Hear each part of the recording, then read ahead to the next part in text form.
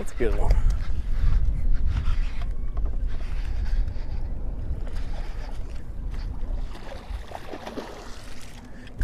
How about it, boys?